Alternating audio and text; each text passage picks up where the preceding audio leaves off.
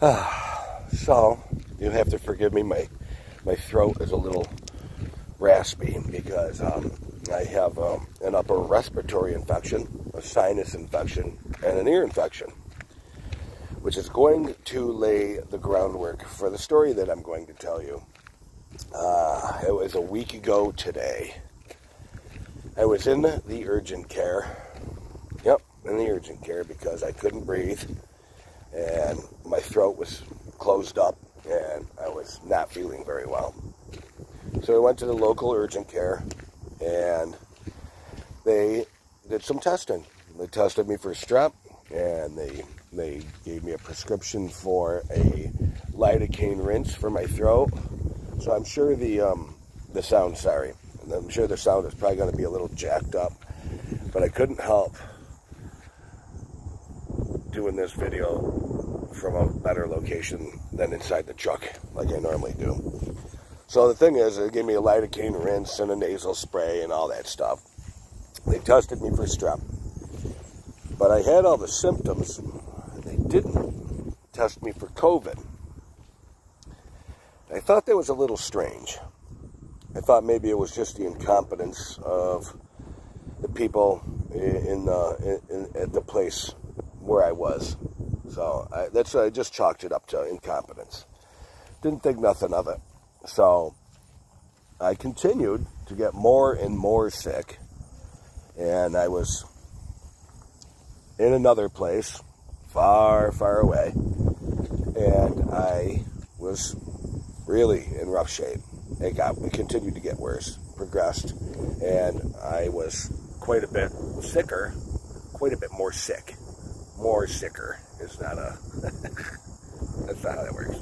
So anyway, I was much more, I felt much more ill a few days in.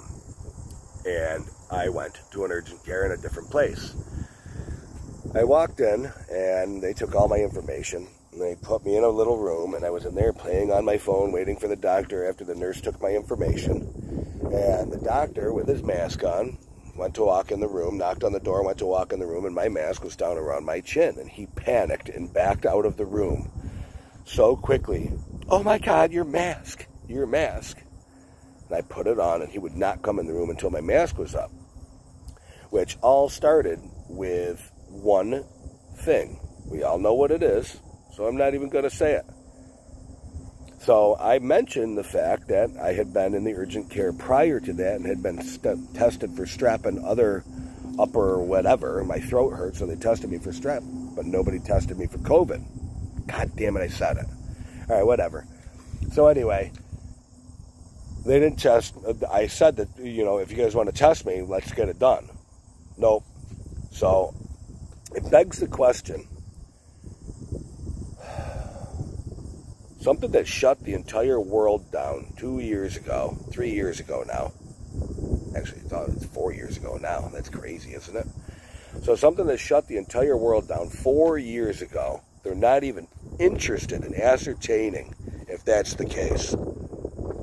I'm not entirely sure what the hell is going on. Well, actually, I do know what's going on. But I was just kind of putting that out there for you guys because I'm not sure if you guys get it, if everybody that's subscribed or are going to watch this is paying attention to what's actually happening. I mean, was it? I mean, I know people got sick. I know I was sick. I got I had COVID three times. I tested positive for it. I'm not entirely sure what that test was testing for. I don't really know the truth. Does anybody know the truth anymore? I have no idea what the hell's going on. What I do know is that if they were really worried about something that killed all them fucking people four years ago, don't you think you'd want to test for it? Maybe see? So, something screams bullshit to me because even when prompted, they never even fucking tried. So, I don't know. I'm just going to sit here and uh, drink this coffee. Arabica beans. Got the X on it because it had ice in it. I get two coffees, one with ice so I can drink it now and one without ice so it'll be cool enough to drink it later. Alright, that's my video. That's the first one in a while. I just thought I'd throw that one out there because it was a little weird. It was an experience I had I thought I'd share with you guys. And that's it. I don't even think I swore that much. I think that's good, right? I'll probably review this video, and I don't really care. If you like it, you like it. If you don't, you don't. That's not like it's not like my mortgage is getting paid with my YouTube money.